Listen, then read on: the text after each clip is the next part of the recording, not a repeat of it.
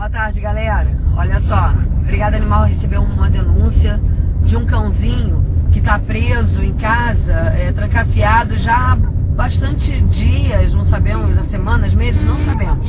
A dona dele morreu, pelo que nos contaram, a, a filha deixou o cãozinho lá, o cãozinho pertencia a uma senhora, e o cãozinho ficou lá, largado. É um Yorkshire, bebezinho, assim, né, pequenininho, mas já é idoso. É, isso tudo a gente ficou sabendo, não temos certeza de nada. Mas já já a gente vem com notícias para vocês. Espero realmente que isso não esteja acontecendo, porque vai ser mais uma daquelas noites de terror, né? Bichinho lá massacrado, não comendo merda, desculpa a expressão, mas é isso mesmo. Bichinho comendo merda, no meio da merda, no meio do lixo, morrendo de fome, sujo, cheio de carrapato. Bom, é mais ou menos a situação que a gente acha que vai pegar. Trancado dentro de casa já é um outro problema, né? Porque a gente vai estar salvando uma vida, mas vai ter que estar abrindo a casa de alguém. Então é um outro problema. Vamos ver o que, vai acontecer. Fica na guarda aí. Valeu, galera. Até agora na estrada. Que horas são? São 6, 7 37 7h37. A estrada para chegar em Carlos de Albuquerque até Ah, agora. São 7 37 não, porque eu não enxergo direito de perto. Eu acho São que 7 e alguma coisa. São 6, eu acho. 6 Beleza, 6 e 37. É, então vamos na estrada. Esse lugar existe? Ricardo de Albuquerque. Será que isso existe? Ó, eu e Marcos Ferreira estamos aqui esperando agora. O rapaz foi lá ver se pega a cachorrinha pra gente ver como é que ela está. A história tá parecendo ser outra, vamos ver, né? Bom, pessoal, chegamos aqui na casa. Aqui estão falando que o cachorrinho tá abandonado. Tem um cachorrinho abandonado aqui? Ele está abandonado, tá? porque ele, a minha mãe morreu, faleceu. né? Então, ele mora ali, é o meu, meu, meu sobrinho. Sim. Aí ele esqueceu, esquece o cachorro lá fora. O cachorro está acostumado a dormir dentro de casa, mas ele, caramba, tem comida lá, tem água para ele. Porque ele, ele era muito acostumado com ela, então ele ficava sempre dentro de casa. Aí ela apareceu, ele fica sentindo falta de ficar dentro de casa. Aí ele Começa chora. a chorar, entendeu? E ele tá botando ele agora pra dormir do lado de fora, é isso? É, tá botando... Não, quando ele chega, ele bota o cachorro pra dentro de Mas dentro. durante o dia ele tá ficando do lado de fora. lá de fora, entendeu? Porque ele sai... Mas ele tem comida. Tem, tem comida. Ah, eu vou falar com ele.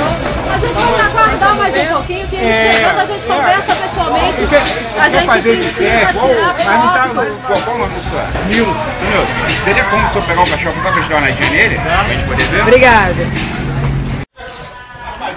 Não, não, tranquilo. Esquenta não, a gente tá acostumado.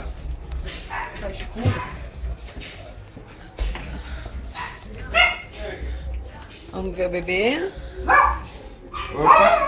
Oi, criança.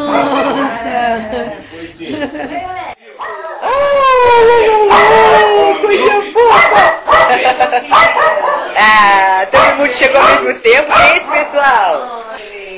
Ai, neném. Ai, neném. Que medo, todo mundo botando a mão em mim. Quem é esse pessoal?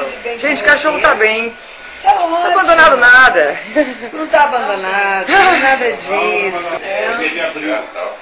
Então, Oh, meu Deus. era esse cachorrinho. Galera, quando eles foram fazer alguma denúncia, olha só, vocês estão fazendo um, dois, três, quatro, cinco, seis protetores perder tempo. A gente poderia estar agora em outro local salvando outro animal, procurando um assassino de cães, como tem vários por aí que vocês estão vendo. Vocês estão passando o trabalho da proteção dos animais. Tomem vergonha na cara, passam a fazer denúncia direito.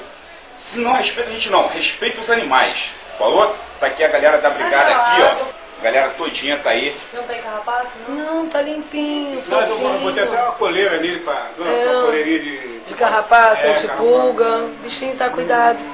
Pelinho tá é limpinho, não tá agora? fedendo. No denunciante agora e mostrar pra ele que não é assim que funciona, que eles estão brincando com a proteção. Isso.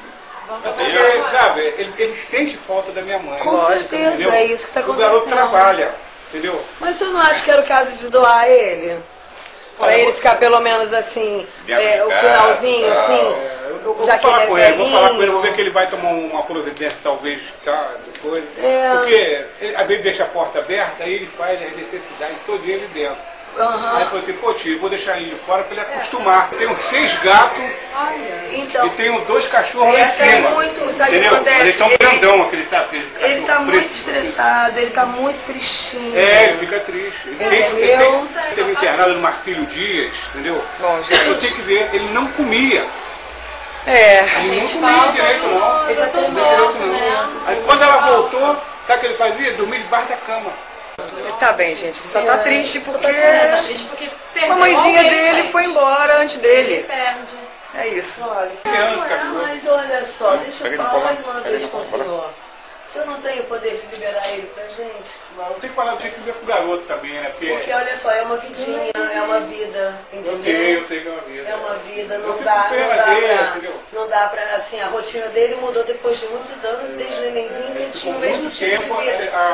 Agora é complicado pegar o bichinho e botar durante, na rua, assim, na rua no quintal eu sei, mas para ele não está acostumado com isso, no finalzinho de vida, isso é muito ruim. É, muito ruim. Isso é Eu, muito eu- ruim. eu- eu acredito que ele não vai se acostumar. Entendeu? Não, eu tenho certeza É. que ele não vai se acostumar e ele vai ficar doente, Mas eu vou falar vai pro garoto, eu acho que ele o vai, de repente, ele vai ceder.